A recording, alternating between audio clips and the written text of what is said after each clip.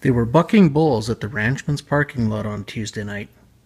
And when all the dust settled, there were two cowboys still standing Albertan Kale Marks and Aussie Josh Birks. Marks was still celebrating his 26th birthday from two days ago. My last year, Edgerton, on my birthday, won my first PBR, so I'm two days late on this one, I guess. Wow. So I'm the third, so whatever it is. I don't know what today is. You need a few more birthdays. Yeah. No, I'm old enough. I feel it. Arizona cowboy Chase Outlaw posted by far the top ride of the night with an 88.5 in the long round. It? Come on, Chase. Yeah,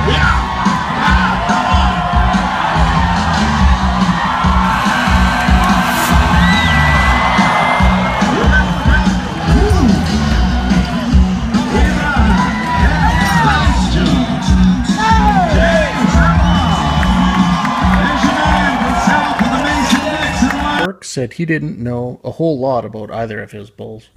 I had two great bulls. Uh, I didn't know either one of them. I just had to hang on to them, and lucky they bucked, and lucky I really hung on to them. Anybody tell you about them, or I had a few ideas out back, a few guys telling you, but you can't take them for granted what they're going to do. They're animals, so you just take them jump for jump.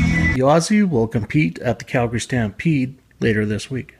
Night two of the Ranchman's Renegades Charity Bull Busting goes Wednesday at 7 p.m.